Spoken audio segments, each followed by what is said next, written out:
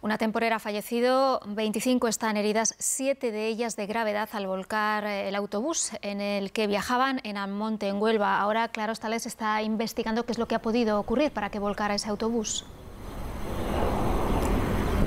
Sí, la Guardia Civil es quien está al cargo de la investigación que determinará las causas de este siniestro en el que ha perdido la vida una mujer de origen marroquí temporera. En el interior del autobús viajaban 39 personas, 38 mujeres y el conductor. Todos han resultado heridos con de diversa consideración. En estos momentos hay 22 mujeres ingresadas, tres de ellas hospitalizadas en estado muy grave. Todas son menores de 40 años, madres de familia y como la víctima llevaban muy poco tiempo en España, habían venido hasta aquí, hasta Huelva, para trabajar en la campaña de la recogida de la fresa. El autobús partía de la localidad de San Juan del Puerto cuando a las 6 y 25 de la mañana y por causas que se desconocen, aunque parece que había mucha niebla en ese momento, en lugar de, tomar sentido hacia el Rocío, siguió recto y al llegar aquí chocó contra unas farolas, contra los pies de hormigón de estas farolas y en esta rotonda